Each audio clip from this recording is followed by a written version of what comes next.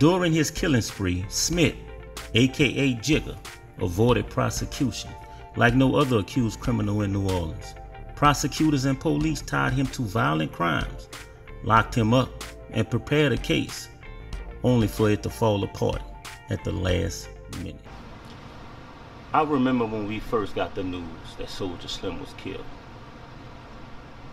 I was living on Dale Street in New Orleans East, matter of fact, the 4900 block of Dale. We got the news, it happened a day before. Matter of fact, he was killed a day after my birthday.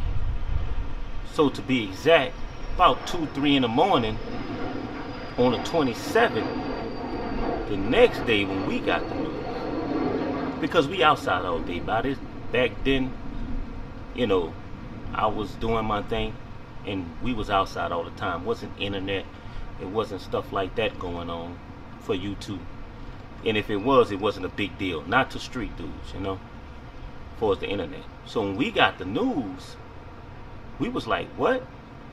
What happened? Who? This and that. And that's when the rumors started surfacing. And that's when Jigga name came up. Then after that, you started hearing a lot of other rumors about Jigga.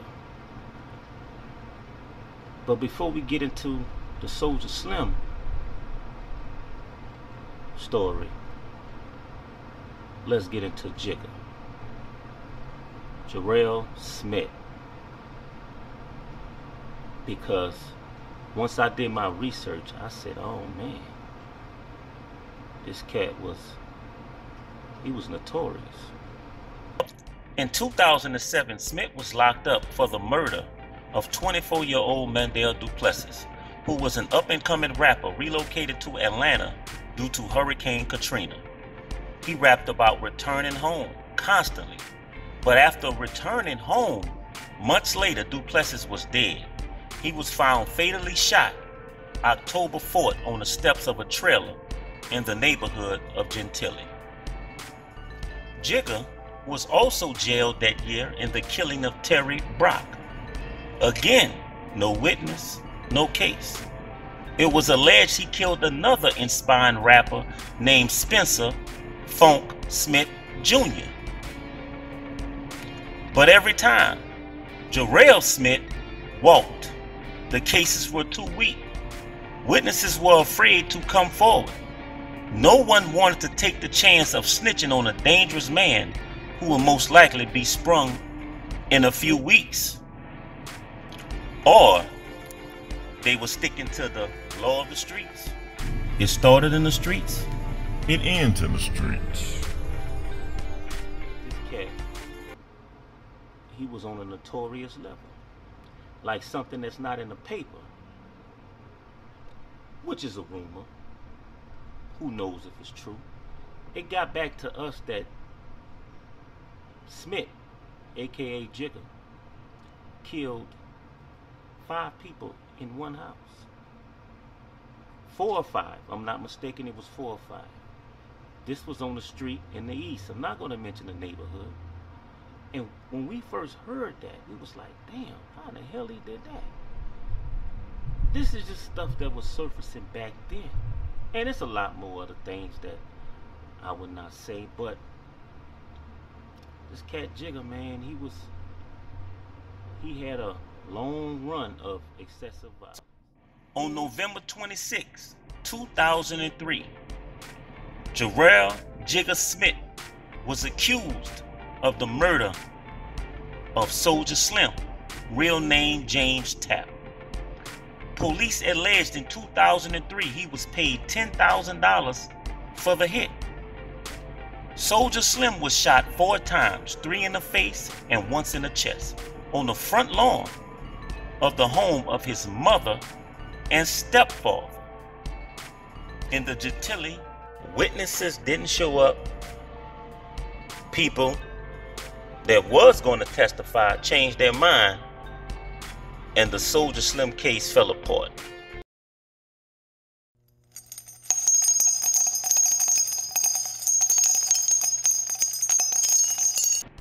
In August 2011, there in the 3500 block of Hamburg Street, lay Garelle Jigga Smith, 29, dead of gunshot wounds to his head and chest. At the time, he had four separate cases hanging over his head when he died. His most recent arrest, June 26, when police allegedly caught him with a gun and a bag of marijuana. He was scheduled to appear in court later that week for arraignment, but we all know what happened.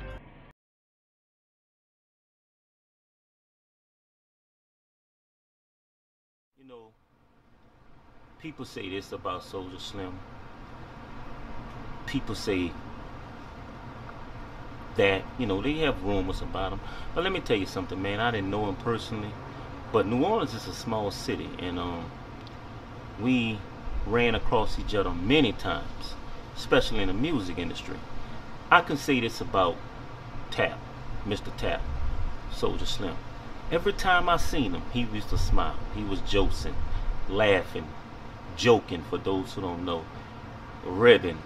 He always seemed to be having fun. I guess he was living his life because, you know, to us, he was the New Orleans Tupac. You know, I heard stuff about him firsthand. I had the same relationship with Big Reed inside, for those who know. But like I said, all around good cat, all around good dude. And like I said before, he was New Orleans Tupac. Official, certified. Everyone, let me tell you something. When have a city that have a lot of hatred, crabs in the buckets, because they do. They have some real dudes, but they still have crabs in the buckets. But you have the majority of the city that wanted him to make it. I can tell you that. They wanted him to be the next thing coming because he was from New Orleans and he was certified official. You know? To people that was in the hip hop to the streets. So they wanted him to make it. And when he was killed, it was it was, you know, it was devastating to a lot of people. Now, let me give you two so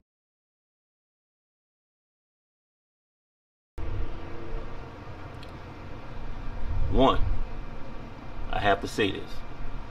Back then, I was another dude. Matter of fact, for those who don't recognize me, you if I show you an old picture, I had long braids, you know, stuff like that. I was I was out there. It was an OPP. Still in the holding tier. Me, friend of mine named Big Marty, out the goose. Well, you know what? Yeah, I already said his name. well, Marty, he had cigarettes, you know. I guess before you go upstairs, you know, they don't too much really search it deep for cigarettes. He had cigarettes on him, whatever, you know. Soulja kept borrowing cigarettes from him. So when I wanted to smoke one, he ain't had that many left. I said, man, what happened to the pack you had? Man, Soulja asked me a few times. I said, man, stop giving Soulja Slim your I stop giving Soulja Slim your cigarettes, man. What's wrong with you? You need that. You know what I'm saying? That's one story. Another one. Matter of fact, well, we used to always see each other at. A lot of people back then, after the club, whatever, you go eat at Anita's Bar and Grill on Tulane. Well, this time, this not after a club. I'm trying to slide. Little side piece I was with. Uh, we sitting right. I'm facing. Soulja sitting like facing outward on the booth. He's by himself. I'm with the chick. She one of them little freaks, you know. She gets down, something drop. She bend over, pick it up. You can see a G string or whatever. I didn't know it at the time, but dudes behind me was trying to get at her while I was there. Now, I guarantee you, like I said, I'm trying to slide. It's not my main old lady, but respect is respect. I didn't know it at the time. I'm noticing she saying, stop it, don't do that. I'm noticing she said that, like, what the hell she talking about? I didn't know she was talking about some dudes behind me. Two of them. Soulja was, I'm facing him, he behind her, he was just chilling. I don't know if he was going through something, but he was hanging out on the, you know, the side of the boot, just doing like that. not the whatever you call it. It's like one of them tables, the boots, whatever. And um, he looked at me and he gave me a signal like, as you could tell, he was disgusted too, like these dudes on some fake, you know, whatever. I don't know. And when he did that, I looked at the corner of my eye and saw what was happening. And the story stops there. But the moral of it is, well, all what I'm telling stops there. The moral of it is, Soulja, you know, he was he was a stand-up dude, man. He didn't have to put me on to that because they was behind my back with the foolishness. She wasn't telling me. She was trying to brush it off, but at the same time liking it. Well, you know, skip past what happened afterwards. I still took her to the hotel and smashed, but Soulja's a real dude, man. He missed.